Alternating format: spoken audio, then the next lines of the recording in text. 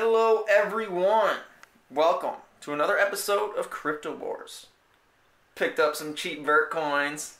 Oh, yeah. Dude, Vertcoins. The truly decentralized proof of work currency coin. Not fancy fucking smart contract coin. Vertcoin is what Bitcoin can never be a completely decentralized proof of work currency. You see, right now, there is way too much centralization in Bitcoin because of the miners and the ASIC manufacturers. You see, you see. So Bitcoin is about to go to like hundred dollars or something. Dude, I'm never selling any BTC. I'll fucking hold it for life. BTC for life, bro. Maybe I'll sell a little bit if it goes like X10 or something. Or maybe it goes X100. I think it's gonna go all the way to a billion dollar market cap. Very possible. Very possible.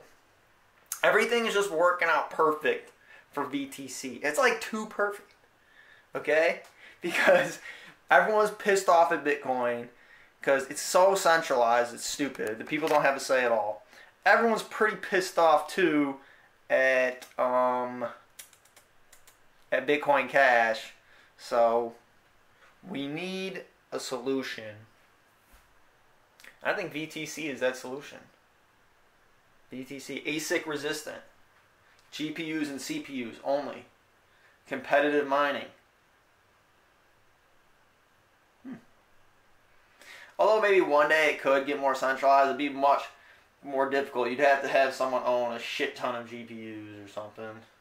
I don't even know. Not even. But I don't know. I don't know. So, Vertcoin is at 50 cents right now it'll be interesting to see how high it goes. It'll be interesting. Very excited. Very excited. So things should go good. BTC's got very strong. We might be on Trezor too. The Trezor too. This is exciting. Things are going looking up for Vertcoin. BTC baby. I sold my Bitcoin Cash for BTC. I got pretty lucky, dude. Holy shit, because Bitcoin Cash kept going up. I was like, oh fuck no, like I sold it so early, you know? But then like VTC's going on now, so I'm like, oh, it's all right, it's all good.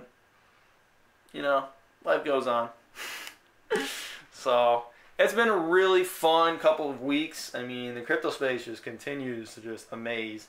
It never slows down. I mean, it only gets, it's only picking up pace. It seems like, and it's just, it's crazy shit, man. It's like, be ready for this, be ready for it. So it should be interesting, interesting future. All right, that's all I got to say today. Um, keep your keep your eyes on the prize. Peace.